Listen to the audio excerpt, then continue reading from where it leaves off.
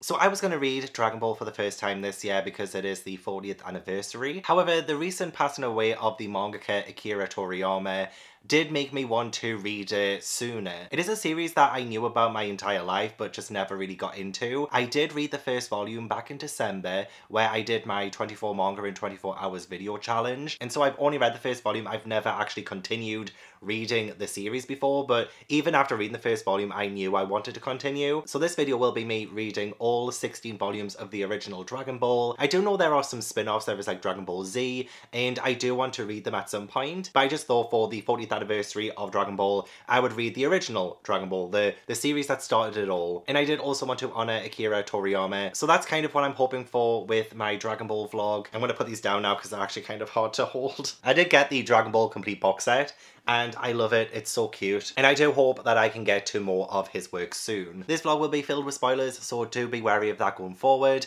I will be covering each arc of Dragon Ball as I read through it in a reading vlog format. So after some internet research, this is what the arcs look like. So we have the Emperor Pilaf arc, the Tournament arc, the Red Ribbon Army arc, the General Blue arc, the Commander Red arc, Fortune Teller Baba arc, Tien Shinhan arc, King Piccolo arc, and Piccolo Jr. arc. And that spans 16 volumes and 190 chapters. Hopefully all of that was correct. If not, bugger. So we follow Goku and he comes across a girl called Bulma and she is on a quest to collect the seven Dragon Balls. If all seven of the Dragon Balls are collected, then a magnificent dragon will appear and grant them one wish. These Dragon Balls are scattered throughout Earth and so we go on this like epic adventure to find them. I'm so excited to dive in so I'm not going to wait any longer. If you do end up enjoying this video, please do leave it a like and subscribe if you haven't already. Now let's get into Akira Toriyama's masterpiece. You know what I've got stuck in my head? You know that Miley Cyrus song? I came in like a Dragon Ball. That one. Won't get out of my head, but it's a cracking song. I finished the first arc of Dragon Ball, which is predominantly the first two volumes. There is one extra chapter in volume 2 that is the start of the next arc but I'm just going to talk about the first 23 chapters. Yes I do like to hold volumes up as I'm speaking because it's just like a support system. I do really like Dragon Ball because I did read the first volume last year and I thought it was very good. I really enjoyed the story. I like the idea of like trying to assemble these seven Dragon Balls in order to conjure a dragon and for that dragon to give you any wish in the world. I love that. I was actually so surprised that we actually kind of achieved that goal. Although, like, albeit in a totally different random way that kind of they didn't really achieve it, but I just didn't expect all seven Dragon Balls to be assembled so quickly and for the dragon to actually appear. And obviously it doesn't go to plan, which is great because I kind of like the idea of it being the entire 16 volumes of hopefully this quest, this goal in order to get these Dragon Balls. I love adventure stories so much. I love when there is a goal at the end of it. And so I was like, oh my god, are we really to have the dragon be conjured by the end of the first arc. Like, we still have eight more arcs to read. What is there going to be? It's called Dragon Ball. Like, what? But no, it, it, it's great. It, it's fun. And I do like the fact that we start over at the end of this arc. So all good things. There are so many good things to say about this, and I'm going to talk about all of that. I want to briefly mention the fact that there are some things in this that haven't aged well, but it's something I don't want to dwell on because I do understand it was a different time when this was written. But I don't want to not not mention it because I don't want anyone to think that I think it's okay to do all of that kind of stuff in the first arc. And you know, some people have told me that it gets better and, you know, a lot of the stuff, especially to do with like women and like I guess some nudity that was involved in this too isn't really that much of a problem moving forward and it's not taking away my enjoyment of the rest of the story but just know that I'm not okay obviously with how things happen with Bulma, with Oolong, and the pervert turtle guy, which I can't remember his name, you know, the master. But my dislike for the things that happen and some of the gags that haven't aged well, I acknowledge it, and I'll talk about some of it as I move forward. I love Goku. I think he's hilarious. I think he is the most unserious main character I've met in a long time. And I see a lot of like Luffy in Goku, or at least like the other way around because obviously this came before One Piece. I can say the inspirations that Oda might have taken from Dragon Ball and Goku specifically in order to like create Luffy and One Piece. I see a lot of the similarities, I see the inspiration, and I love it so much. I love how innocent and unaware Goku is. I mean, obviously he does cross the line. Like, we don't love the whole pat pat stuff, but I can acknowledge that he is just so blissfully unaware. He isn't really like civilized. I do see a lot of like the Tarzan and Jane kind of dynamic a little bit between Bulma and Goku. I don't really know a whole lot of the inspirations that went into this or like the creation behind it. I would love to read more. I just don't want to get any spoilers, so I'm trying to avoid any videos talking about Dragon Ball. But once I'm finished and all caught up, I would love to go behind the scenes and see all of the inspirations, everything behind it, and what went into the creation of this story. I think that'll be really fascinating. But the Goku and Bulma relationship, like dynamic, is just so sweet and not so much at the same time. I love when they first meet and Goku hasn't seen a car, he's only heard of them, and he thinks it's a monster, so he like blasts it, and then Bulma's inside, and he's like, oh, an even scarier monster has come out or something like that. It was so funny. But Bulma, she really does give as good as she gets. She's very smart, actually. I do think she's a very smart person. She's the absolute opposite to Goku, so that's why I kind of love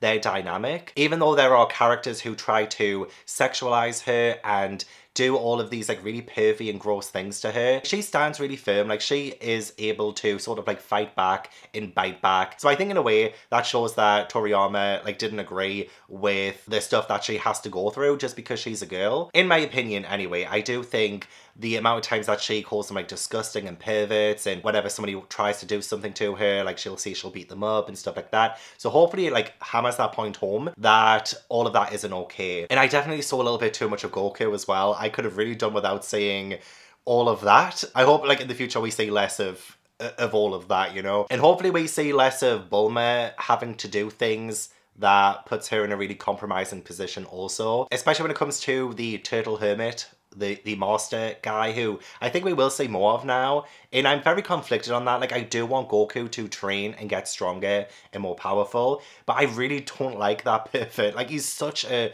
a creep. Like he's an old man.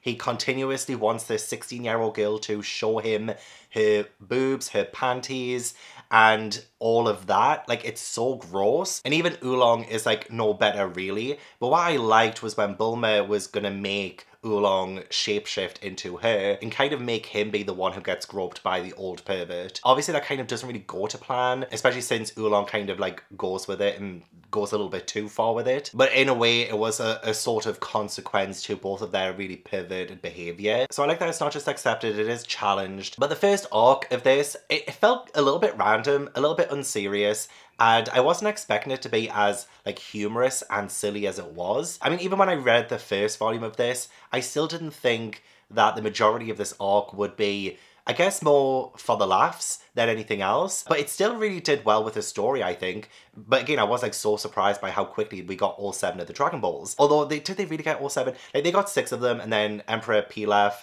he had one of them, he stole all of them, summoned the dragon, and then Oolong is the one who got the wish for the panties. So despite the quickness of that surprising me, it still followed a adventurous structure and that goal of getting the Dragon Balls definitely drove it forward. I wonder, like, did Toriyama know that Dragon Ball was going to continue? I know it's kind of probably hard for mangakas to know if their series is going to last a long time. So I don't know if maybe like originally the story was supposed to like end at the end of the arc or something and they were going to get all the Dragon Balls and it'd be the end all over and done with. And then he kind of was told that maybe Shonen Jump was going to continue Dragon Ball. So then he had to like extend the story and make it so that they didn't get the wish that they wanted with the Dragon Balls and then have all the Dragon Balls scattered at the end of the arc.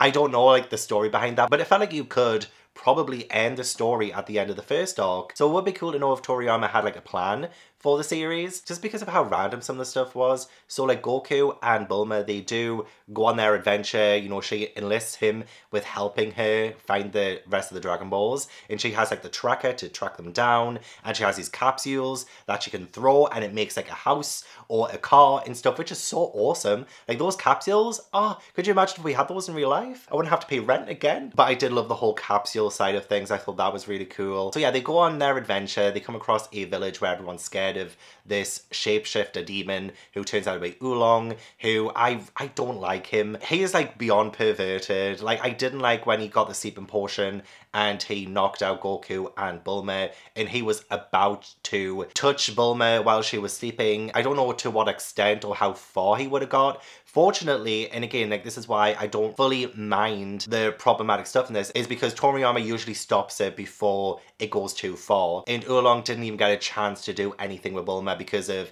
like the circumstances of events. It felt almost like a sitcom at times with how ridiculous some of the things would happen. Like how Yamcha and his shapeshifter friend. I'll remember everyone's names eventually. It takes me a while with names. Like that's the hardest thing to remember. But Yamcha, he ends up getting his shapeshifter thing to shapeshift into Goku and distracts Oolong from doing anything else in order to try and get those Dragon Balls off them. And I liked Yamcha actually. I do. Like I found his pursuit of getting married and just being able to talk to girls like quite cute. The way that he saw Bulma and he was just like overcome. It's kind of sweet. It's it really is sweet. So the fact that we end the arc with those two going off together and they kind of like achieve their goals without having to rely on a dragon's wish I kind of like that. That was like quite a, a, beautiful ending for both of those in this arc. I don't know if they come back. I don't know if Bulma ends up joining Goku on his mission to collect the Dragon Balls a year after they've first been used so that when they reappear, they can get them and get the Dragon Wish. But anyway, I keep going off on a tangent. It's like hard because like I really did enjoy this first arc and there were so many like moments that I liked. So yeah, the, the story did kind of have a structure. We went place to place and we went on our little adventures, meeting new characters along the way. So yeah, we met Oolong at this village where he was terrorizing it and they've kind of blackmailed him into joining them now. They end up going to Fry Pan Mountain, and I like that whole sequence too. I like the idea of this mountain being on fire with a castle in the middle. And the Ox King wasn't as terrifying as I thought, like we didn't really have to fight him or anything. And it was his daughter, Chi Chi. She ended up beheading a dinosaur, which took me by surprise. I was like, oh my god. But the fact that we have this world that's a little bit random, like there are dinosaurs, but there are also cars in civilizations, and like rabbit mobs and you can go to the moon. Like there are so many different things in this that is just so bizarre, but kind of works. Like I really do like the the structure of this world. I probably like the structure of this world more than I kind of like the characters, although I do really, really like Goku and Bulma. I think those two are my favorites. And I do like Yamcha as well. I, maybe they're my three favorites. So yeah, the Ox King wasn't as scary as I thought. And there wasn't really that many fights in this because I was expecting more fights. I imagine we will most likely get more fights moving forward, especially with Goku now training to be stronger. I think that will probably be something that comes into play a lot. But I like the connection between the Ox King and the Turtle Hermit and Goku's grandfather. Oh, you know what? Actually, I really liked Goku's connection to his grandfather, how he left him the, the four Dragon Ball and how Goku feels connected to that and that's his like kind of special thing and he, he wants to get it back and all of that. So I, I like the connection there with his family and I would like to know more about his family. But did he did he kill his family? You know when he turns into that monster, that monkey monster in like the last few chapters and he can't remember doing it. He just like talks about like looking at a full moon and like his house gets destroyed, his grandfather is killed. Like does that mean Goku killed his grandfather? Did I read that wrong? I probably did read it wrong to be fair. That was interesting, but I did like the connection that he has with his grandfather. How much you can tell he actually loves him and how much he like he wants to protect a, a piece of his grandfather that was left him. The rabbit mob stuff was a little bit weird but again kind of worked because like a thing that even though sometimes I don't really love the whole like perverted gag kind of thing, especially since there was like a chain of events with Bulma losing her panties because of Goku, not realizing that she's he's innocent, okay? Like, he doesn't understand what he's doing. But, like, she does flash the Turtle Man without her panties on. And that leads to her end up getting a, a, bunny outfit from Oolong. And the bunny outfit making people mistake her for being part of, like, the rabbit mob. And the rabbit mob also terrorizing the town. Like, there is a lot of stuff. There is a payoff to some of the earlier gags that, you know, when I first saw the bunny outfit, I was like, oh, for God's sake, like, I don't want us to, like, sexualize Bulma. She's 16, you know what I mean? But there is, like, a story purpose at times with some of that. So, like, again, I am, like, quite forgiving and I try not to focus on it. So the whole, like, rabbit mob stuff was very random and weird. The fact that Goku can take them straight to the moon and leave them on the moon, what? Like that was so random. But I liked how all that happened, and I liked how Yamcha he has been following them because he wants the Dragon Balls. He overheard them. He wants the Dragon Balls. I love the fact that he followed them, and he ends up having to like save them a couple of times because yeah, he needs them to lead him to the final Dragon Ball so they can collect them all, and then he can steal them. And he has to like save them a couple of times. So when the Rabbit Mob boss comes and he ends up saving Bulma when she gets turned into a carrot and Goku is getting his ass beat. That was sweet. That was kind of comedic, and them all getting trapped at the end too by Pilaf. That was really funny. And I kind of like their banner. I like their group dynamic in a way. Especially since Yamcha is like trying to rob them. He's going to rob them at the end of this, but he's also helping them along the way. It's just such a funny juxtaposition. So there was a lot of random stuff. And then I was like, well, why is this arc called the Emperor Pilaf arc if nobody called Pilaf has appeared? And then he finally does appear in the last few chapters. And he has the last Dragon Ball. He manages to steal all of them off them. You know what? There was a moment in volume two where he breaks the fourth wall and it's kind of funny. And I kind of like how he's turning the whole like perviness on its head too. Especially when the girlie's with, she makes a crude joke about like a ball, it being between the man's legs kind of thing. And Pilaf says, you know, we do not appreciate vulgar humor here. After all, some manga creators strive to make their work dignified and refined. If you think we'll pander to our audience's shameful love of PP, caca humor simply to boost the sales of the Dragon Ball comic, then you are very sadly mistaken. I just kind of love that wall break. I kind of love that Toriyama had this moment there because, yeah, like sometimes there have been some crude things happen before now and you've seen a little bit too much and I kind of just like the self-awareness of it and it, again it just adds to the unseriousness of the series so far. And I like the story at this point too. He's got them captured. He manages to summon the dragon and all of that. I just genuinely wasn't expecting it to happen this quickly. And for all the balls to be dispelled across the universe. And now they're gonna have to recollect them all. Well, Goku is, but I don't know. I I, I hope Bulma rejoins him. I know she now has a boyfriend and that's what she was going to wish for, which is a little bit shallow, but you know what? You got to do what you got to do. But before that though, yeah, when, when Goku turns into that monster, I was so shocked. I didn't even realize that was a thing he could do. But now I'm wondering what consequences there are from that happening. And is taking his tail off going to be a huge consequence of that? Like, is he able to do it again? Or is that like stripping away like the last of his monkey powers? If he has monkey powers, I don't know. I just know he's like very strong and he could turn into a big ass monkey. But now he doesn't have his tail, he's losing his balance. And I think for the next year, he will be like training up with the pervert hermit and getting stronger and better. And I don't think Goku cares about the wish from the dragon. I think he just wants that four Dragon Ball back so that he can have that part of his grandfather again. I think that's his mission now, like his quest. And Godspeed. Godspeed to him. So I would probably give the first arc of Dragon Ball 5 out of 10. It was maybe a little bit too random for me. I still really liked a lot of the humor, despite some of the things kind of dampening my enjoyment of it. But overall, I think the story was really good. I loved the introduction of the characters. I really liked the world and I can't wait to explore more of that. And I think 5 out of 10, you know, it's halfway. I can imagine we only get better from here. And I'm really excited to see what Goku does next.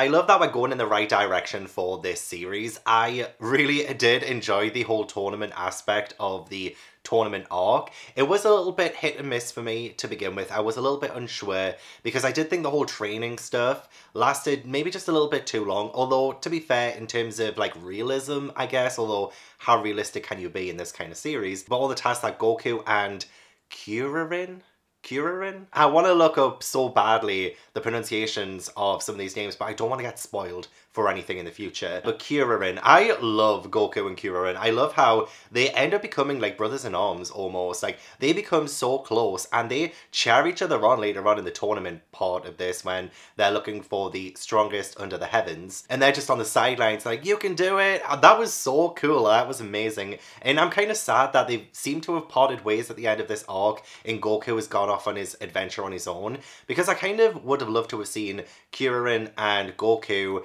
get a little bit closer and become like the best of friends and more like brothers, you know, I think that would have been like so cool to see. I mean, there is still time, they might still bump into each other every now and then because, you know, we got Oolong, we got Bulma, we got Yamcha. I'm really starting to get everyone's names, but they all come back for this arc too because they're all watching it. Well, Yamcha is part of the tournament, but everyone else is watching. And I was like, oh my god, this is so cool. We've got like a little bit of a family reunion from the first arc, and I love seeing Bulma again.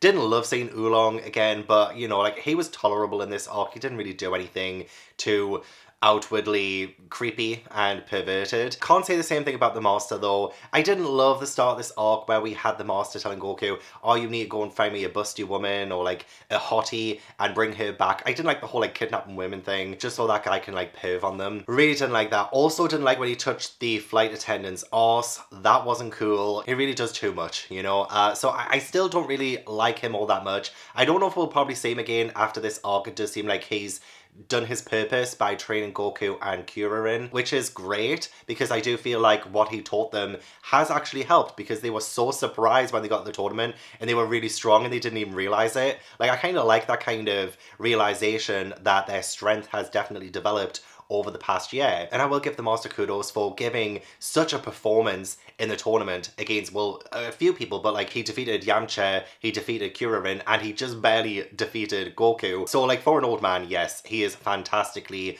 strong and he still has it. I would love to change other things about it, but I know that's kind of like manga humor sometimes and this is a product of its time so I'm not trying to like penalize it too much and I did love when the master gave that guy the you know the guy who came from the village and they need like water and stuff to save the village and he was like fighting for his village but he lost. Namu, uh, he was fantastic, a great fighter, a little bit sad that he lost but you know it did have to happen so that Goku could progress and it was a really good fight and actually I think it was like one of the first fights in the series where I was like, oh, this is kind of what I expected Dragon Ball to be. Because the first arc kind of lacked the fights. It was a lot more humorous than I expected. But this arc, I think, is giving me a taste of what to expect in the future when it comes to the fights. And I loved all of that. But I did love the master giving Namu a capsule so that he can get as much water as he possibly can to give back to his village. So that was nice. I will give him points for that. And he did turn out to be extremely helpful in Goku's pursuit of getting stronger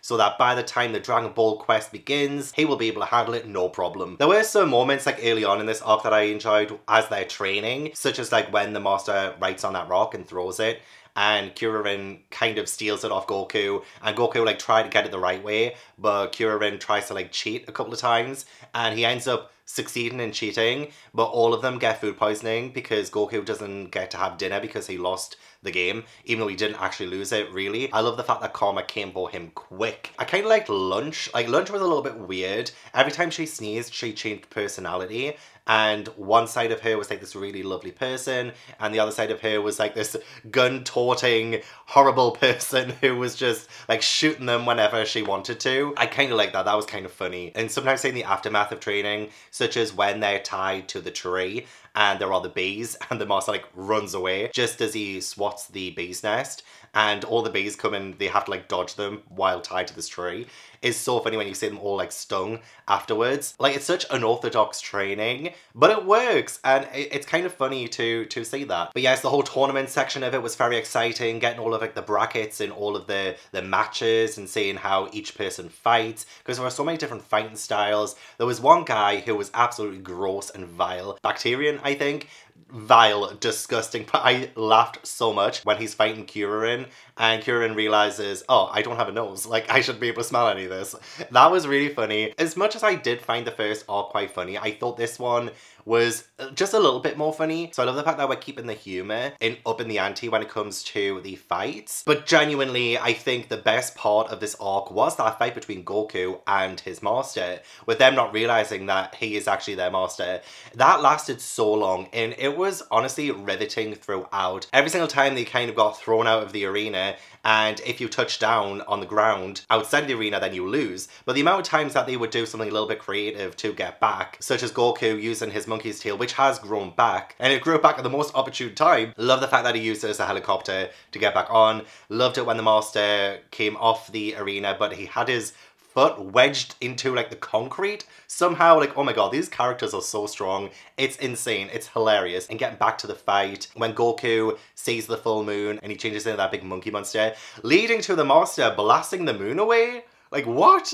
Like, will that not have some, like, repercussions for the Earth? Will that not have repercussions for gravity or anything? It's so absurd and so silly, and I freaking ate it up. And I was really rooting for Goku to beat his master, but at the same time, I'm like, it's still quite early in the series, and the master does raise a good point that if they do end up thinking that they're the best, then they're not going to want to train as much, or, you know, like they still have a long journey to go, and it just feels like it's probably a bit too soon to have such a big epic win this early on. So yeah, I kind of am a little bit glad that Goku lost to the Master, but I do love the fact that it was so fractionally close that it was just so riveting all the way through. You think the match is going to be over, and then it isn't. You think the match is going to be over again, but then it isn't. It's just so good. And I do love the ending. I do love the idea of Goku going off on his adventure again. And one thing I do miss from this arc that I really loved in the first arc is that sense of adventure. It's one of the reasons why I love things like One Piece, for instance. I love quests, I love adventure stories,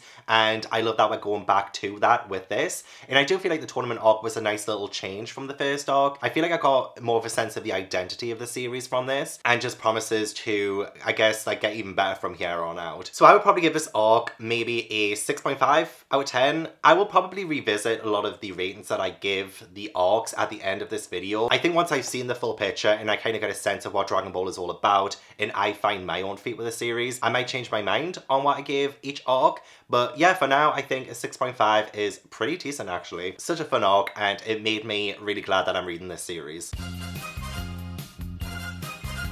I am done with the Red Ribbon Army arc and I think I'm going based off of the anime in terms of like the seasons because I'm trying to find out more about like the actual arc structure. So this was the shortest one so far with 15 chapters and it was another good one. It was a banger. It was a lot of fun. I don't think I liked it as much as the tournament arc, but just slightly. So I think I would give this one a 6 out of 10. But I wonder if the Red Ribbon Army are going to be like the big antagonists for the rest of the Dragon Ball series. Because we do have Goku going off on his adventure and he manages to find the Dragon Balls with his tracker that Bulma made, and there are already people looking for the Dragon Balls, this Red Ribbon Army. And we first come across Colonel Silver, and like so far the Red Ribbon Army seem a little bit farcical, a little bit like they do try to stop Goku, but he's just like too good for them. Every single time somebody goes up against him, Goku does wipe the floor with them in quite a comedic fashion. But we do meet Commander Red, and Commander Red seems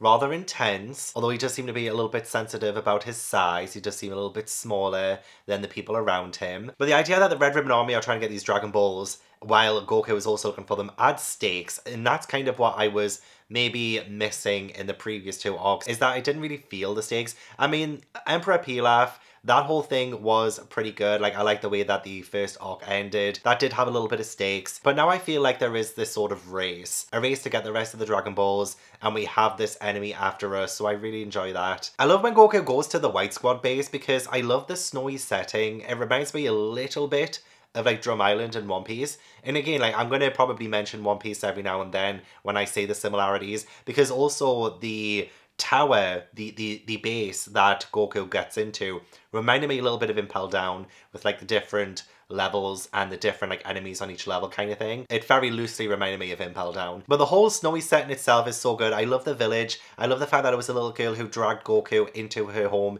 to pretty much save him from the cold. And the fact that it was Goku's first time seeing snow. Like again, sometimes I forget just how innocent and unaware he is. And then he sees snow for the first time and he doesn't really like jump up with joy or anything like it. Like he doesn't really know what it is, just like water. So he just continues on his way. But it's just so cool to see him have these first experiences. And when he fights that guy in front of the little girl and she's like, what did you just do? And he's like, um, six punches and four kicks. Like he takes things so literally. It's just so funny. I really do like the fights on the levels in the tower too. That ninja person who kept trying to hide was so ridiculous but it kept making me laugh the way that I was trying to hide behind the flag and then turned around because it was like the wrong way around. That was funny. But when he tried to hide in the water, but the fact that Goku goes inside to get a kettle filled with hot water to put in the water instead of just like grabbing the bamboo so that he couldn't breathe. You know, like there were just so many different things that made me laugh so much in this. So I do really feel like we've hit our stride with the humor.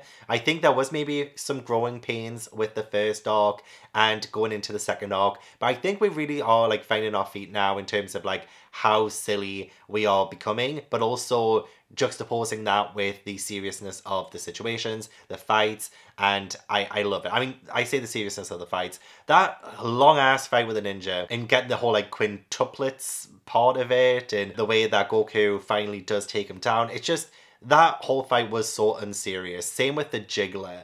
Like it's so unserious, but again, like I, I enjoy that. Oh, but Mechanical Man number eight has my entire heart. Oh my gosh. I will die for him.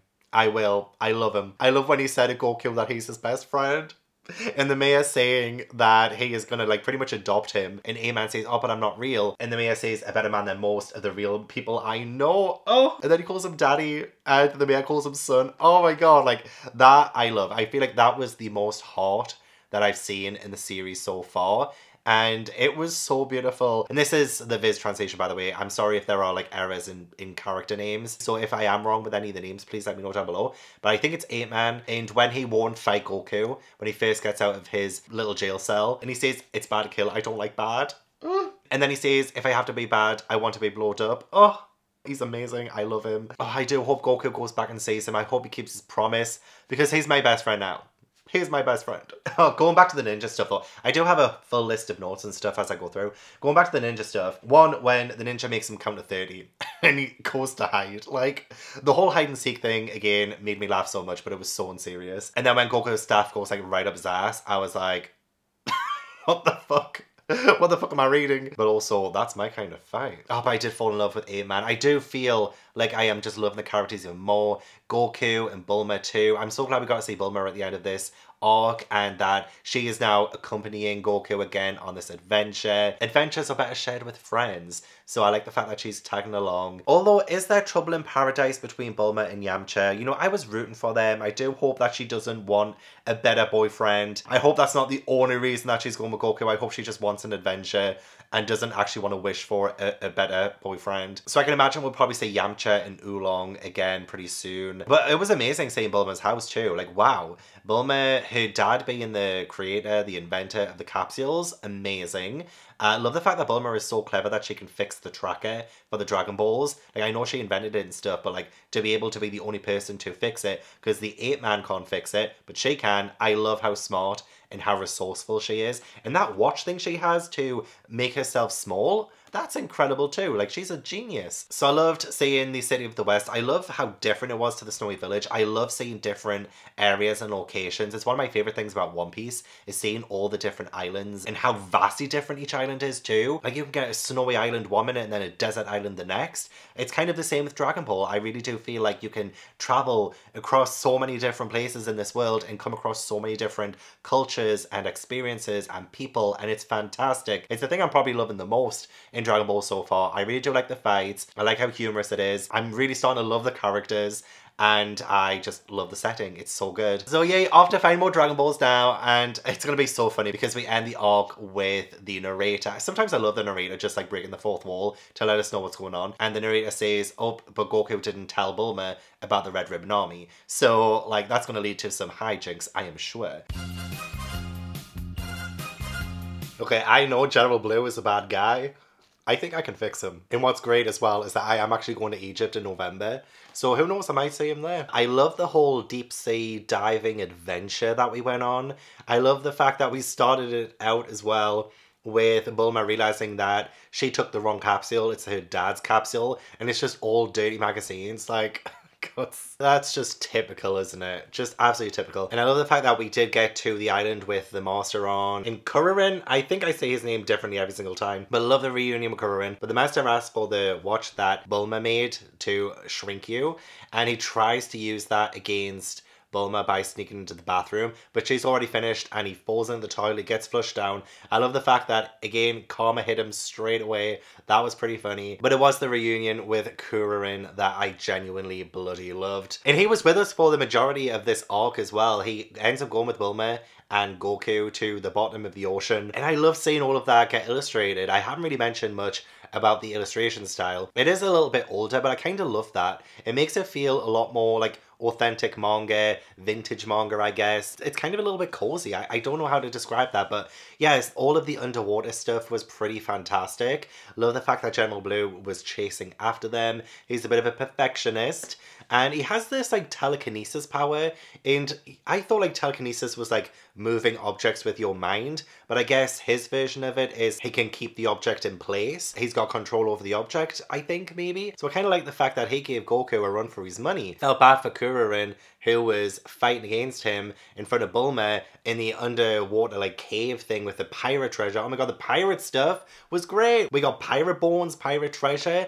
Like, what more could you want? Like, the more I'm talking about it, the more I kind of want to bump my rating up for this. But it really was imbued with a lot of that old school adventure, almost a little bit like the Goonies in a little way, just the way that it kind of came across as, with like the bad guy chasing them, trying to get the Dragon Balls, and them trying to escape that person, going through the traps, finding the treasure. It just was so good. Yeah, the fight between General Blue and Kuririn was pretty good. I felt bad for Kuririn because he couldn't really keep up with General Blue, which I'm a little bit surprised at, especially with how amazingly strong Kuririn was during the tournament a couple of arcs ago. But it really does show the power of General Blue and how powerful he was and how he was actually kind of a match for Goku. And I don't know if it's true or not, but Bulma trying to use her sexuality to influence General Blue and be like, oh my god, he's hot. Hey, what do you think of me? kind of thing. And he's like, ew, disgusting. And she's like, oh, he must be gay. And uh, like, I didn't realize that could be gay bad guys. I kind of love that whole exchange. It probably was just for laughs and probably just a joke. But when I say I'm available, General Blue, I'm even wearing blue. I think that's fate. And the fact that General Blue was taken down by a rat, really, because he could have killed Goku right there and then. But because he saw a rat, he kind of lost control and that ended up saving Goku's life. I love the fact that Goku saved the rat as well. He was like, you saved my life, now hop into my mouth. And then it gets them out of the cave as it's like coming down. like, I love that so much. The fact that Goku felt like he owed this little rodent and acknowledges him for saving his life. That was beautiful. I love that so much. I am a little bit confused by the whole like penguin village bit. Well, not exactly confused, but like it happened pretty quickly. So yeah, they did get the three star Dragon Ball and then General Blue pounced on them when they least expected it, which was great considering it was against the Master and Goku and everyone. So it really does show you how pretty powerful General Blue is in a way. Probably not like the most powerful, of course, but like still pretty good. I thought it was really funny actually when he leaves the bomb and Bulma's like, hey, do you not need like a girl on the Red Ribbon Army? And he's like, no, we don't have girls. And then the Master's like, what about old men? And like everyone's like, what? And they're like, you're gonna leave them to save your own skin? I found that pretty funny. Yeah, so Goku does go after General Blue and he crashes. He gets the Dragon Balls back. He ends up breaking the tracker. So yeah, we uh, land in Penguin Village when Goku catches up with General Blue and there are these like little kids they have like these little wings I, I, I don't know how to describe them because we keep getting introduced to these like different places and these different people without really like stopping to ask questions kind of we kind of have to just like accept what happens when we get to each place and just kind of like know what's going on which is uh, maybe I just need to watch like the anime or something to help me see everything, especially with the characters there. I don't really understand them, but like one of them was like a genius. They go to the the house and the person fixes the tracker so that Goku can have it, but then General Blue steals it. But then one of the kids knocks General Blue all the way to freaking Egypt, and the other kid makes Goku a brand new tracker. I was just like, okay, okay, uh, that was very quick, very sudden. But yay, we have a tracker, we've got the Dragon Balls back. Now we can just mosey on to try and get the four star ball, which will most likely end up being the very last one that Goku ends up getting. So I think another pretty solid arc actually. I'll give it 6 out of 10 again, just like the previous arc. I'm not too sure which one I prefer. So far that's what I'm feeling. I still feel like there is so much potential and we're just like so close to hitting that potential with Dragon Ball and I'm just like not quite there yet. But it is the Commander Red arc next who was introduced a couple of arcs ago. But I think we're now like halfway through the Red Ribbon Army saga which is pretty awesome. So we'll continue on, hoping maybe the next arc or thereafter gets a 7 or above. Well, shit got real talk real quick. How do we have, I think, three pretty brutal deaths in this arc after what we've had previously? It just got so dark. Oh, my heart broke because General Blue? He died like pretty much at the very start of this arc because of that goddamn assassin. I was like, I guess I won't see him in Egypt this November anymore. I think it just solidified at the very start of this arc that this assassin was not screwing around. But did the assassin take General Blue out with a lick? He just whipped his tongue out and he was down. And then the assassin just like gets a pillar, like he just takes it off the building and throws it and gets on it and he goes thousands of miles in minutes it's insanity. It's absolute insanity. But we do end up at the Karin Sanctuary. That's where we predominantly spent this arc and I honestly loved it. I thought this was a great arc. I love the fact that we had this fight with the assassin and Goku couldn't quite take him down. In fact, he looked dead. Oh my god, but the poor dad. I think it's Bora. And Upa is his daughter and Goku saves Upa so Bora has the four ball Dragon Ball, which is Grandpa's Dragon Ball. So I'm like, oh my god, we achieved our goal at the start of this. There is death. There is amazing fights. I was like, this is definitely my favorite arc so far. And I thought, oh, well, I guess Goku's not going to go looking for the rest of the Dragon Balls. But now he has a, a true purpose of getting these Dragon Balls now. Like a very honorable purpose. So the assassin comes, kills Bora. I was heartbroken. That was just awful. And he seemed like such a nice guy. And he was going to protect Goku as well, but nope death. So now I love the fact that Goku's mission, his quest, is to ask the dragon to bring Bora back to life. Like that is going to be his wish. So even though he got his his goal, he got the the four Dragon Ball, the one that his grandpa gave him, now he has a reason to collect the other ones. I think that was like so clever on Toriyama's part in writing this manga and keeping Goku in the quest game. Otherwise, he would have just turned around and gone home because he achieved his mission. He's got his grandfather's ball. So I love that we incorporated that. But like Goku going up that massive tower and meets the Hermit Master at the top, and that whole exchange and the way that he trained for three days there, and the fact it took the previous master, the, the turtle guy, Goku's master, three years to get the water, whereas it takes Goku three days to get it. I love that. I love the fact that it wasn't actually magic water too. So apparently there was like that legend that if you drink the water at the top, it makes you so strong. But actually turns out that the Hermit Master is training Goku by like throwing the ball down to the bottom so Goku has to go all the way back to the top in record time as well. And, you know, all of the training there, trying to read moves as well, because he brings up a good point. Goku is very reactionary. He doesn't really read moves. He just like fights willy nilly and he just like does what he wants to do. But the Hermit Master really does teach him to read his opponent. And that's what he does with the assassin when he comes back. He gets the assassin to exact all of his moves. And then Goku's like, okay, I know all your moves now. So here we go. And it's just so great. It's so genius. Like Goku is actually smarter than I realized. Like he's actually like a really great character. So then he kills the assassin. So that's like three. Oh wait, no. So there must be like four or five deaths in this then. So yeah, he kills the assassin with like the bomb thing that the assassin throws him. And then Goku goes all the way to the Red Ribbon Army headquarters to take them all down himself. I love the fact that his friends, so like Bulma and the Master and Yamcha, I love the fact that they're going to help Goku. And Yamcha is the one who wrangles them all up as well. And he's like, well, hasn't Goku saved all of your lives at least once? So like, we're going to do this. We're going to save him. But it turns out that he didn't actually need to because Goku himself managed to take down the whole freaking headquarters himself. And it was incredible to watch. It was incredible to see him infiltrated, just take down everyone. But oh my god, Commander Black, or General Black, or whoever he is, shooting the Commander Red in the forehead because he finds out that he sacrificed so many lives because he wants to use the wish to get taller, which I, I felt something was going to happen with his size. But I was shocked. I was shooketh when Commander Black just shoots Commander Red right in the forehead and he's dead. Just point blank. Just straight in the forehead. Down. I was like, oh my god. This is some dark shit and I was eating it up. I was living for it. So Commander Black does end up having two of the Dragon Balls. So now Goku has six Dragon Balls. Oh, I think my cats are fighting or something. I apologize if there's any noise in the background. So now he has six of the seven. So there's only one Dragon Ball left to go. And honestly, I think this is the point in the series where I'm like, okay, I'm all in. Like, I seriously love this now. I love the adventure. I love the characters. I'm really invested now. I want to see Goku get that final Dragon Ball. I want him to bring back Bora. I want him to bring him back to life. I really hope the dragon can do that. I'm just all in. I'm just invested. I'm all in. I, I, I can't wait to read the rest of this. So I'm going to give this arc an 8 out of 10. I still think there is still greatness to come, but I loved so many moments from this. I think this is definitely the turning point for me personally in the series. I thought it was so good, so action-packed, so great. I love the different set pieces. I love the big tower and the Hermit Master, the assassin, and everything. Like, it was so good. Oh, another death actually as well. The tailor who gives the assassin his clothes. Like, he just dies as well. I felt so bad for him too. Oh my god, like, this was filled with death.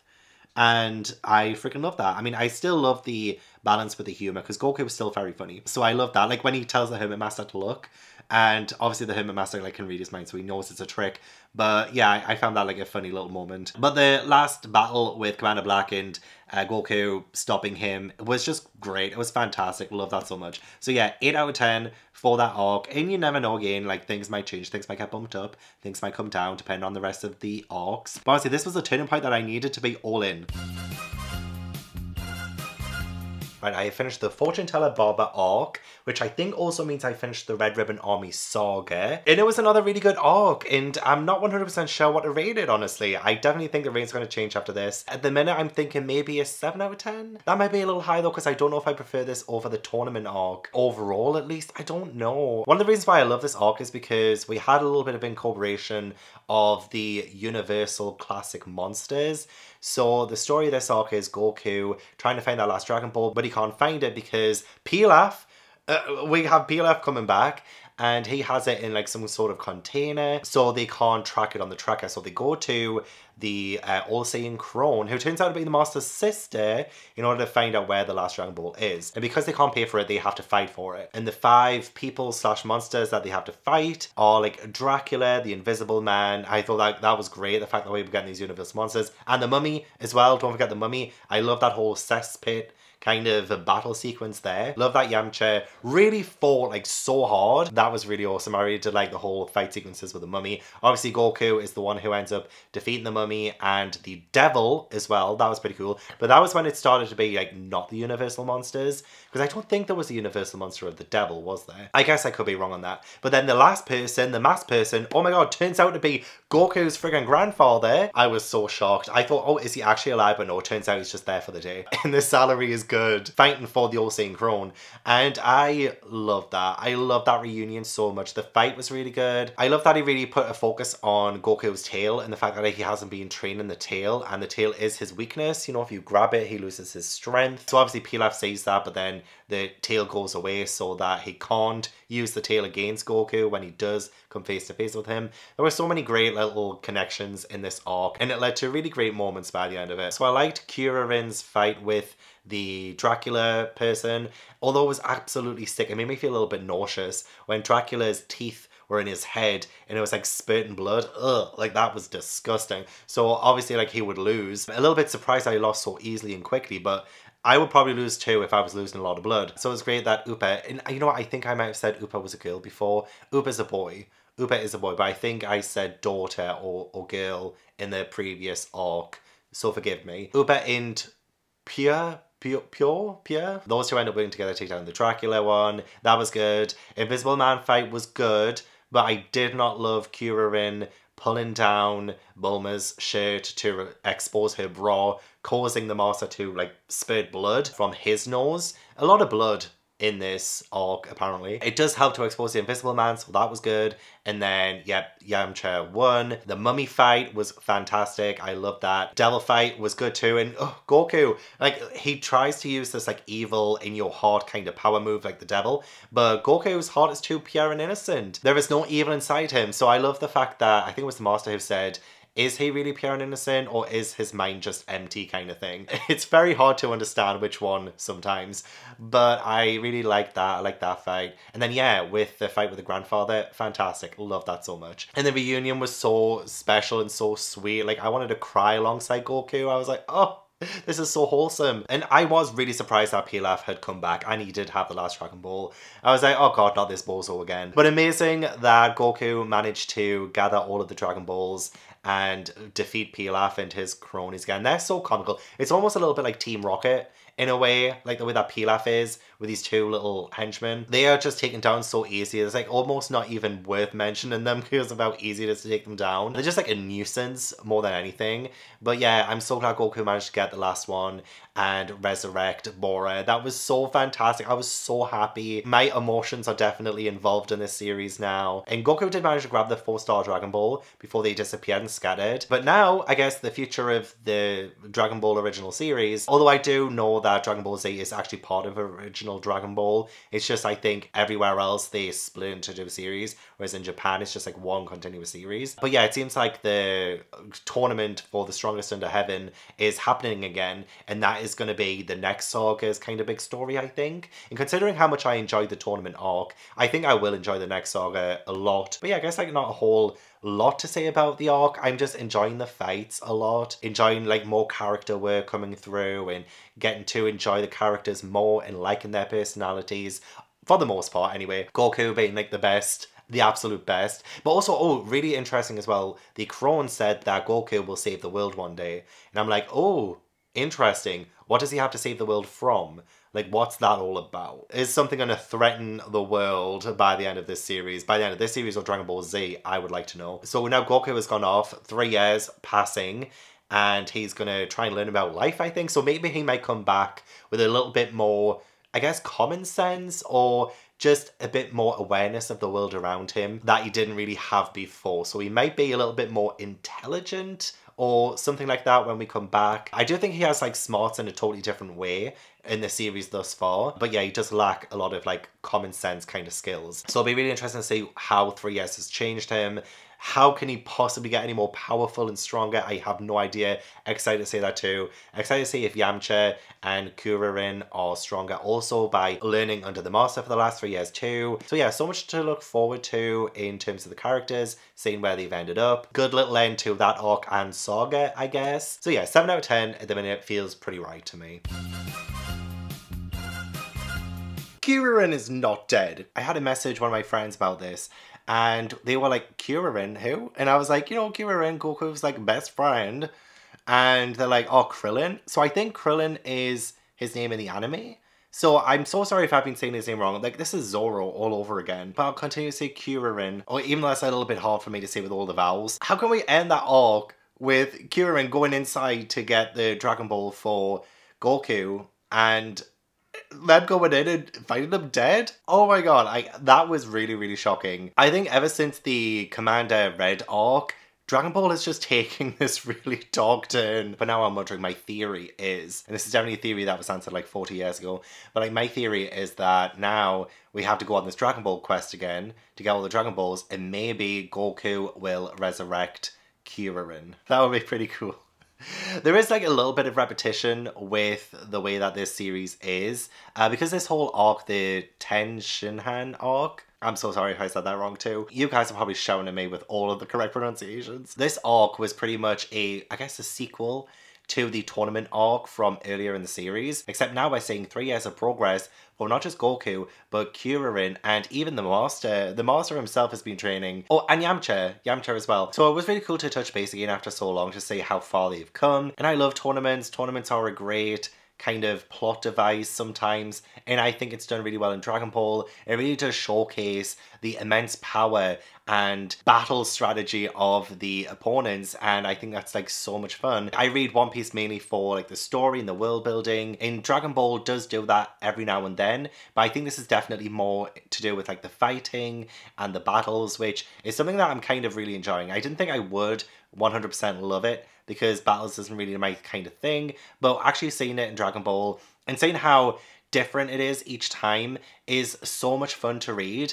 And just when I think someone's going to be out for the count or it's over, they end up standing back up and continue fighting. And they pull out moves from nowhere that I didn't even realize they could do. And it was so good. Like Goku making himself kind of invisible, but not exactly invisible. He's just like going really fast and it looks like he is. Like, that was so much fun. But I guess the main premise and the story of this is that we have the Crane Master, who is sort of the antagonist and he is a rival of the Turtle Master, or Master, who I still will never remember his name. And he probably has a totally different name anyway that people call him from the manga. But it was really cool to see the Crane Master and his own students and them being up against our characters, our main characters. And you know what? I ended up really enjoying those characters by the end of it. The Crane Master, not so much. He was awful. He was evil. But I did love his two students. So we had Ten Shinhan, I love the fact that he had that third eye and he looked a little bit scary to begin with. And then when he grows those arms out of his back, although I think that was more like an illusion kind of thing, Honestly, sometimes I think I'm not fast enough to keep up with the fights, honestly. But he does like roll them out of his back, which don't stay there. They go back inside. Either they go back inside or it was just like an illusion with like how fast he's moving or something a little bit like how Goku did that with his arms too. Tenshinhan looked like Machamp from Pokemon. so I kind of like that. And the other one that we meet who is the Crane Master student is Chaozu, Chozu, and he has some kind of psychic abilities, does kind of get in our way a few times. But I loved that Kuririn defeated Chaozu and how we ended up getting a fight between Goku and uh, because that was such a good fight. I love how you know, brothers in arms they are. I love their dynamics so much. I love how they're both excited to fight one another. Like they're really happy and proud of each other at how far they've come, but also like they're not holding back. And it was a really good and fun fight. I felt so bad for Yamcha because he doesn't really last too long in the tournament. He does seem to still get out pretty relatively early on in them. But oof, the way his leg looked after the fight he had, oh, that looked really painful. I hope he's okay because he ends up getting taken to hospital, so I hope he's fine.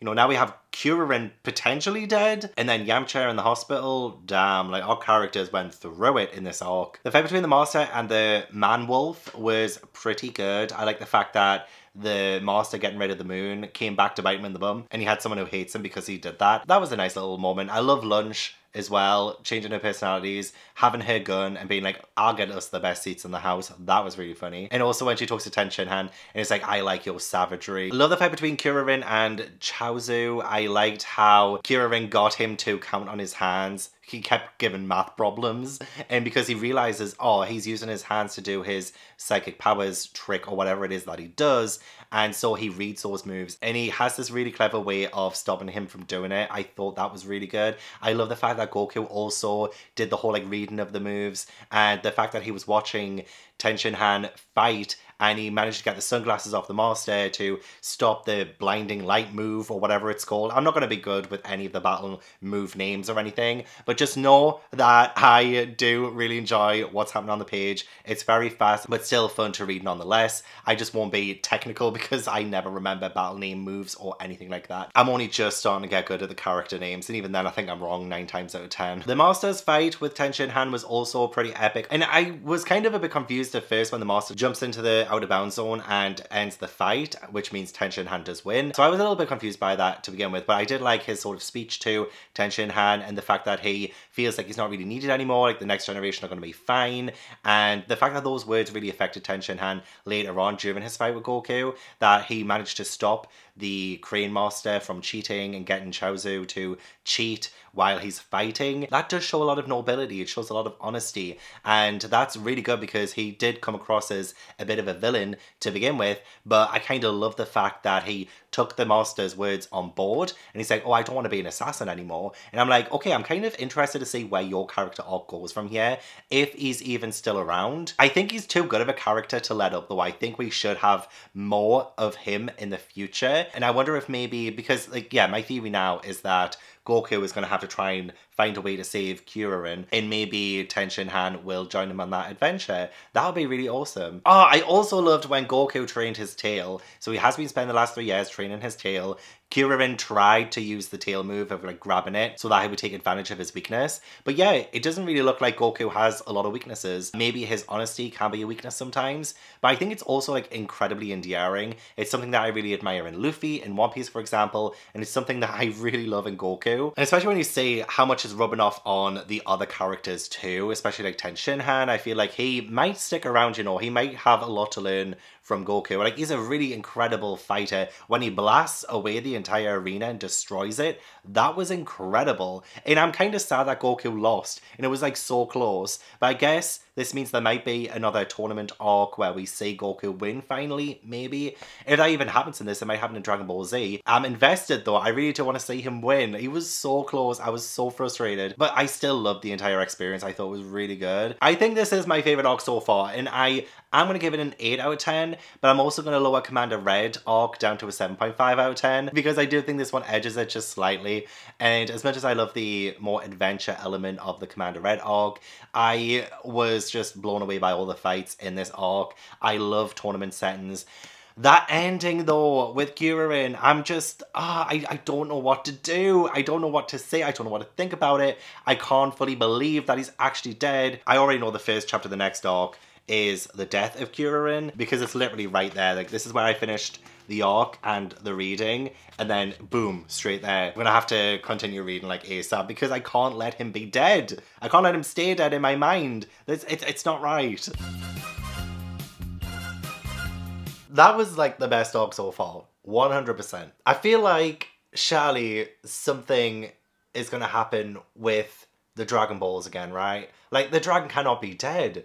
The dragon cannot be dead because that means the master oh my god uh, Chozo, Kuririn will, will still be dead, he'll stay dead. A lot of other people who are in the tournament, including Nomu. I like Nomu. Charlie, something has to happen so that the Dragon Balls come back and the, the dragon can come. They're not staying dead, right?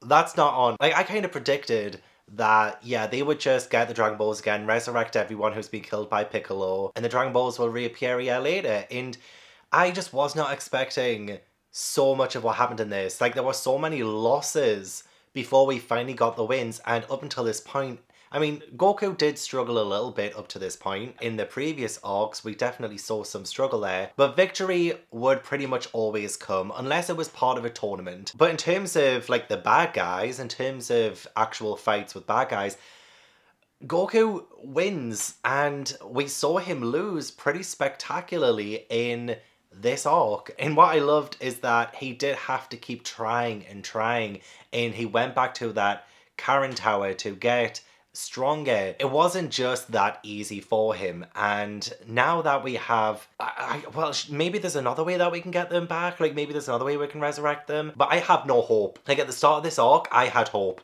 I had hopes and dreams that we would restore everyone, bring them back to life.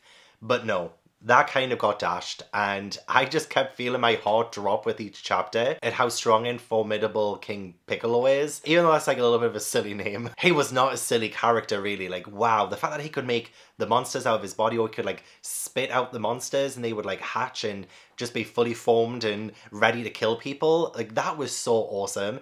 And yeah, now we have his son who's going to avenge him. Now, like that'll be so exciting. So I know that the final arc is called Piccolo Jr. arc. So I kind of had a feeling that there would be some kind of continuation with that storyline. But yeah, I was just... Uh, it, this arc started so dark anyway because the previous arc ended in such a dark place. And King Piccolo getting the roster of all the tournament people and killing them one by one while getting the Dragon Balls. Honestly, I my heart broke for Namu because I'm like, well, I really want Namu to be restored now. Like, I I feel really bad for these characters. I really do feel for these characters, even the ones who we only see very briefly.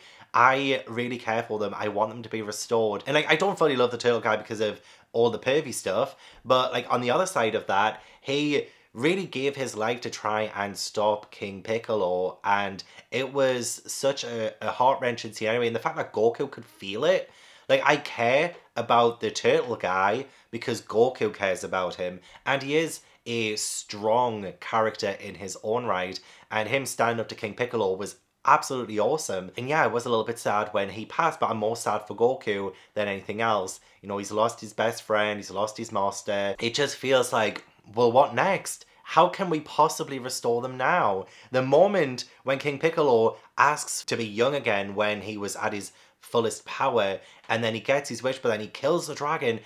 Ah, I was not expecting that. Like, that was insane to me. Maybe a little bit too easy how all the Dragon Balls were like collected pretty quickly. And I feel like because it's like the third time now in like, what was it, like 13, 14 volumes that the dragon's been summoned. I'm like, okay, it's easier to get the Dragon Balls than it is to find the One Piece, for instance. And I know like the trackers and stuff definitely helps, like that really does narrow it down. But yeah, it did start to feel like the Dragon Balls were being a little bit overused. A part of me is kind of glad that there is no way of using it again unless something gets reversed or there's something else, maybe a loophole or something that I might find out in the next arc.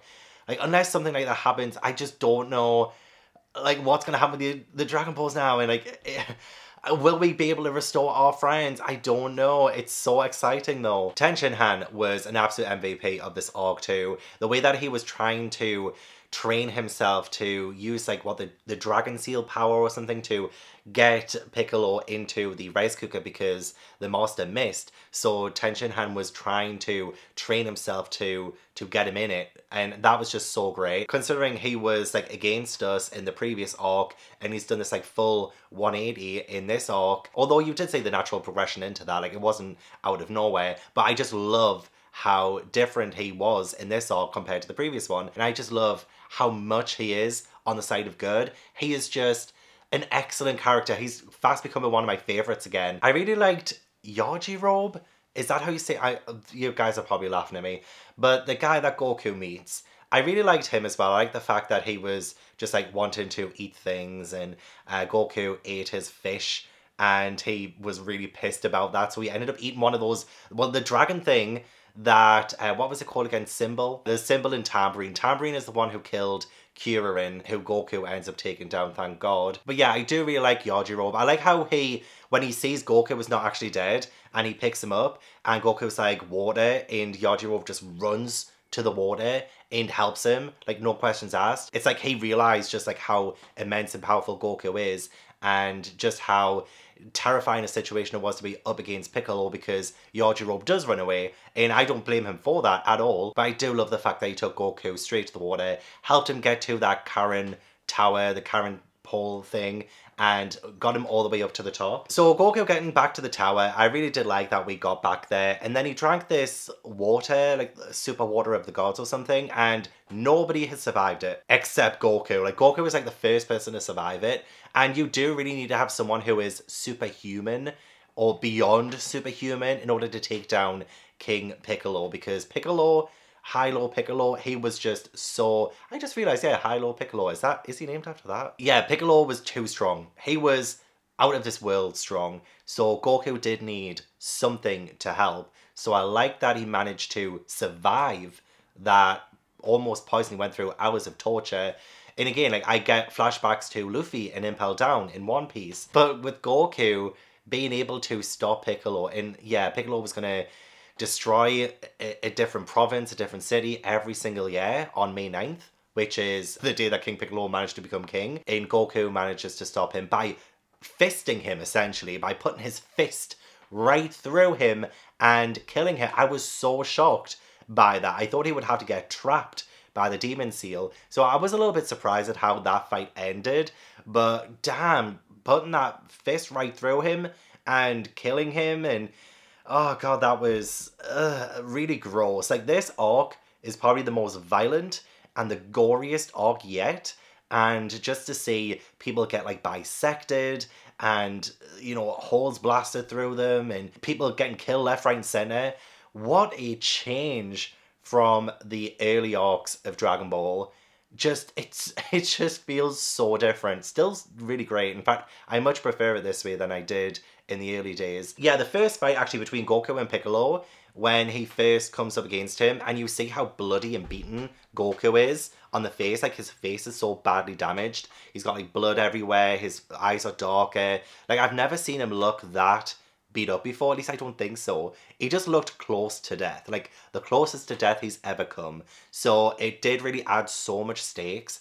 And yeah, it just wasn't an easy fix to take down Piccolo. It took a lot more than usual and it really paid off. I think it really paid off in the end. This arc, I'm going to give a 9 out of 10, but definitely my favorite arc so far. It just changed what I expected from this series. It just totally made me think so differently on how we approach the story and the fights and it was like some of the best fights I've seen so far and the most exciting of the story so far. Now I have no idea what's going to happen next. I really do not. This arc just grabbed me by the Dragon Balls.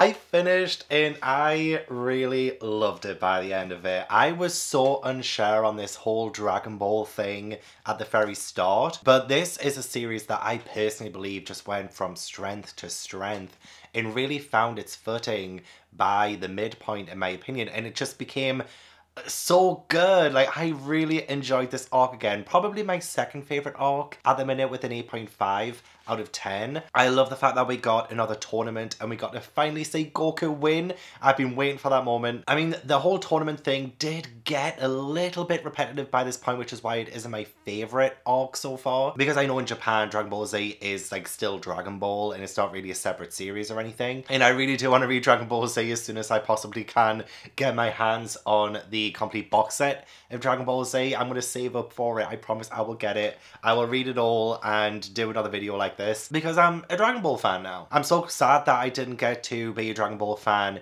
when Akira Toriyama was alive, but I'm here now and better late than never. I love how at the very start of this arc we have bloody Goku getting trained by like God, my Kami-sama, and I'm just like, how how can Goku get more powerful? How can he get stronger than what he already is now? And this story just keeps surprising me. Like, how much more stronger can you get? God, obviously. Like, God is the the ceiling, I guess. And it was a little bit weird as well how this god, this Kami-sama, was like Piccolo, or at least I'm trying to wrap my head around it, but I think it was like this evil worm kind of thing that um, had to be expelled out of Kami-sama, and that was the only way that he could become God and that like worm, that evil part of him was like the Demon King Piccolo, and that's kind of how that whole thing happened. I would like to watch the anime. I think that will help maybe fill in some blanks that I might have missed while reading and just to understand some of the things a little bit better too. And I think seeing the fight actually happen too will be epic. But yeah, it was a bit of a surprise to see a sort of image of Piccolo being God or like Kami-sama. And Mr. Popo as well, uh, that whole exchange was pretty good. And I'm still always so surprised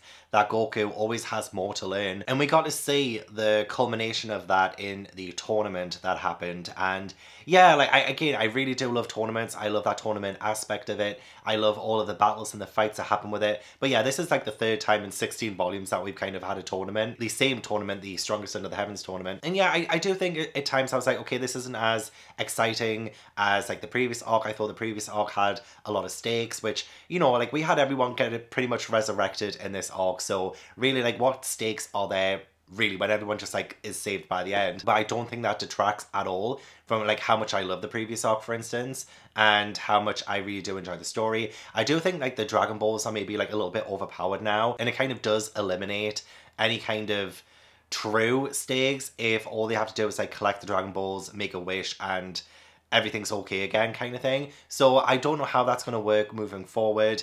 Just when I think that oh, it's never going to work again, we have the dragon get resurrected. And I'm so glad everyone did get resurrected though because I was so sad. I'm so glad that Kuririn, for instance, is resurrected. Oh god, I missed him so much. He did not deserve to die. But nonetheless, I will be keeping my eyes out for whatever happens in Dragon Ball Z. If we do even have the Dragon Ball element anymore or if it's just like name alone. So Goku was trained for three years. Three years later, he's tall. He is tall. I was so shocked. I mean, I shouldn't be shocked because he's obviously going to grow. But like seeing Goku full on adult now, pretty much, like being tall. I was just flabbergasted at seeing how different he is. Not different in terms of like personality and stuff. He still has a lot of his old traits, but he is just like, oh, he's fantastic. His fighting ability is so great. It gets better and better. And again, I think, where is the ceiling for Goku? Because he just keeps surpassing it. Oh, another kind of resurrection thing where I was a little bit like, oh, okay, was the assassin who Goku took down, but now he's like a cyborg, and they do defeat him, but I think he's still gonna come back later potentially because the uh, the Crane Master took him away, his brother. So like I feel like that is probably gonna come back to bite us in the ass too. But I was kind of surprised to see him come back. Actually, I have another reunion as well with Chi Chi. I had no idea who she was either. I was trying to rack my brain, being like, who is she? Because she obviously knows Goku, and Goku's like, who are you? And I'm like, who is she? Who is she? So when that fight with Goku and Chi Chi happens, and we finally find out, I was like, oh, of course of course. And the fact that he is betrothed to her as well is so funny to me. The fact that he's like, oh wait, yeah, hang on, I did say that. I did say that I would take whatever your dad would give me, which was her hand, her hand in marriage. So that was like really comedic. I'm kind of interested to see where that's gonna go now. Like, are they gonna be a thing? Is that just like a, a, comedic thing? I don't know, but that was really funny. Oh, I was really proud of Kuririn as well during his fight to know when to give up And I think it takes a lot of strength to know your limits. So even though I kind of knew like the last battle would be between Goku and Piccolo Jr., that Kuririn wouldn't make it too much further. So like him actually being like, yeah, I, I can't go any further. I'm out kind of thing. That was like really good. I really like that. And it just showed so much more progression with his character too. Like the character arcs of all the characters from the first volume to now, or whenever we first met them, is amazing. And Kuririn is definitely someone who I think has come such a long way, despite being dead for an entire arc. He still just continues to surprise me as well. I'm not surprised that Yamcha still has a lot to learn too. Like he always seems to underestimate people and every single time he's in a tournament, he gets to like the last like eight and doesn't really seem to be able to progress after that. So it'll be interesting to see if maybe in Dragon Ball Z he becomes a lot more stronger. I was shocked during the whole like Shen and the uh, Piccolo Jr. fight and find out that Shen was God, aka Kami-sama. So it does make sense that Yamcha wouldn't get further than him. But at the same time, the fact that God was trying to get Piccolo Jr. into the the jaw, the demon seal thing, and he ends up getting taken into it himself. And then Piccolo Jr. swallowing it. And then later on, when Goku fights him and you know he goes giant and Goku goes inside his mouth and gets the uh, the jar out. Oh my god, that was amazing. But the whole fight between Goku and Piccolo slash Piccolo Jr. was fantastic. I loved it so much. One of my favorite fights of the series. When Piccolo regenerates his arm as well, oh, that was disgusting. And when he blasts Goku through like the shoulder chest area bit there, and it looked like Goku was dying. I mean, I knew he wouldn't die, but still, that was intense. It was still like so much fun. And I think that's one of the things I really do like about the Dragon Ball fights is that even though they do come across as quite intense, they are just so much fun too and so fun to follow along with. One minute I love the sleight of hand sometimes when Goku manages to like say actually when Goku is fighting with Ten and he takes Ten's belt like that whole exchange was kind of funny, but it kind of does again show you just how much Goku has progressed this entire time and how much faster he's gotten. That was so funny but so good. But yeah, the battles can go like really dark one minute to like really light the next, and I love the the dichotomy between them. one of my favorite moments that's like so underrated is when Launch like kicks God down the hole. You know, when she's like, I don't care if you're God going down there kind of thing. Like she just kicks him down there. That was so funny. I kind of love the fact that Goku helped restore Piccolo. So he does win, finally, yes. He finally wins. And I love that. I've been waiting years for that to happen. but I'm so glad Goku did win. And he ends up allowing Piccolo to get healed, to have that thingamabobby, the the the bean thing that helps him get healed. And Piccolo has gone off and he's going to get stronger and he's going to come across Goku again. So I love the fact that Goku didn't take him down just now because he appreciates the fact that he has an arch enemy. Oh, but like the moment where I actually started to get a little bit emotional was during this whole moment here about like the importance of the Dragon Balls. And the Master says about the Dragon Balls you created, Goku would never have become what he is. None of these heroes would have. From just one Dragon Ball, this saga began and so the world was saved. And it's all of these like really cute, nice moments of all of them together. And it's just like a family, you know, it's like a, a family that I ended up really growing to care for by the end of this 16th volume. And I just got like a little bit emotional, I'm not gonna lie. I was like, oh my god, like this is so sweet and I'm gonna miss these characters until I pick up Dragon Ball Z of course. But then of course it made me also feel sad for Akira Toriyama who created this incredible world and I've just loved his illustrations. I have loved his story so far. I didn't think I would enjoy it as much as I did, which is a huge testament to his writing style, especially at the start of the series when I thought, oh, I don't think this is really gonna be for me after all. Like it isn't really what I was expecting too much. But then it surprised me and it really hooked me in and I'm so glad that I did end up loving it. Ash has come in again to interrupt filming. It's just like you want to hear me talk about Dragon Ball. I might call you Piccolo because you're so annoying. Mm. Sorry, my notes are a jumble. But when Goku and Kuririn and Yamcha had the Turtle School uniforms, even though they didn't have to, and they each got their uniforms just because they wanted to without telling each other either. It was like a nice little surprise, and that was just so sweet ruining the moments every single time. Oh, and then how can I move on from this? But Goku passing down, being a god, Kami-sama says, you know, you're good enough to surpass me, like you can be a god and Chi Chi can be a goddess, can live up in the heavens and all of that. And then Goku's like, It was boring enough when I was there for that little period. I ain't gonna be no god. That was so funny. Only Goku would turn down that kind of opportunity. That isn't Goku's life. He is going to continue getting stronger and he's going to continue fighting. One day he's going to defeat Piccolo Jr. and it's going to be incredible. It's going to be so good. I imagine that will be what Dragon Ball Z might lead up to, potentially. I'm not sure. But I'm so super happy that I did it. I finished it. I finished the original Dragon Ball series. So taking a look at my final arc rankings and arc ratings as well, I do feel like these are my final ratings. I know I changed them a few times during this video, I apologize. But I do think the King Piccolo arc is my favorite followed by Piccolo Jr., then the Tenshinhan arc, the Commander read arc, the Fortune Teller Baba arc, the Tournament arc, the Red Ribbon Army arc, the General Blue arc, and then finally is the Emperor Pilaf arc. But we did have to start somewhere. We might as well start from the bottom and just grow from there, and that's what we did. And that is all of Dragon Ball Red. I hope you enjoyed the video. Please do give it a like if you enjoyed, subscribe if you haven't already. Leave all your comments down below to let me know what you thought of the vlog. Let me know what you think of Dragon Ball. Tell me absolutely everything down below. And hopefully I will see you in the next video. Bye.